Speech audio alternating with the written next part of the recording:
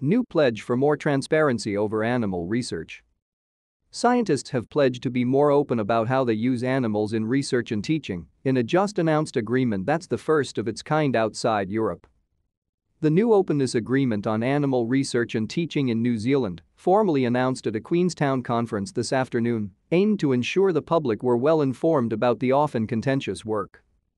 To stay up to date with latest top stories, make sure to subscribe to this YouTube channel by clicking the button above this video that included the role animal research played in scientific discovery, how it was regulated, what researchers did to promote animal welfare, and what ethical considerations were involved. The pledge committed its signatories, which include all of New Zealand's major universities, to improve communication with Tangata Whenua and to also report back on progress annually. A leading anti-vivisection group has called the move an excellent first step but wanted to see the signatories honor their promise for greater transparency. Animals have long been part of research, testing and teaching in New Zealand. In 2019 alone, more than 315,000, including mice, rats, fish, guinea pigs, sheep and cattle, were manipulated for scientific purposes. Although the research had little to no impact on nearly three-quarters of those animals, a further 136,679 animals were bred but killed without being used, something researchers tried to mitigate through targeted and on-demand breeding.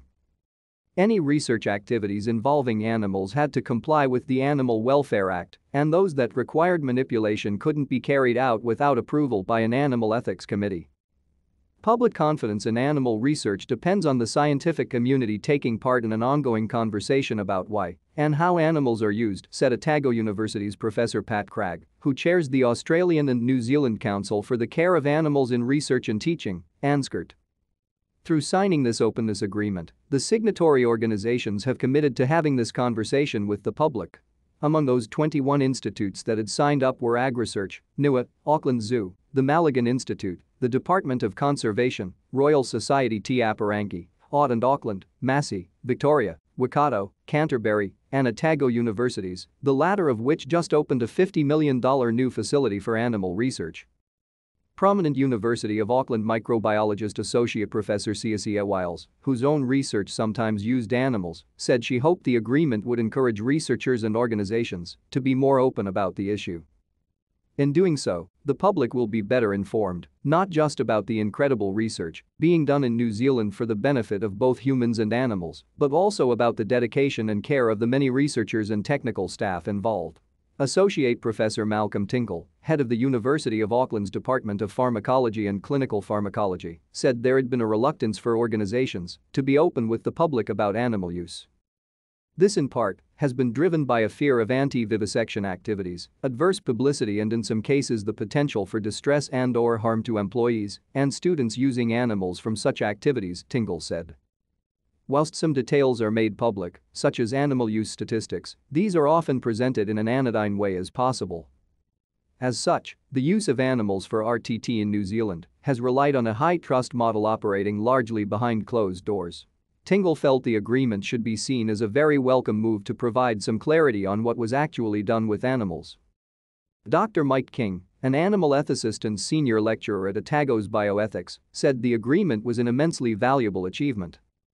King said animal research and teaching was an ethically complex issue and informed, reasonable disagreement about it is an opportunity for ethical progress to be made. This research is always undertaken with the aim of benefiting humans, animals and the environment, he said. Animals are central to this issue and should be central beneficiaries of this progress. Tara Jackson of the New Zealand Anti-Vivisection Society, which attended the ANZCCART conference for the first time this year, welcomed the step but still remained concerned there wouldn't be enough transparency. There is a big difference between a PR exercise to get the public on board and genuinely allowing the public full access to know what is going on, she said.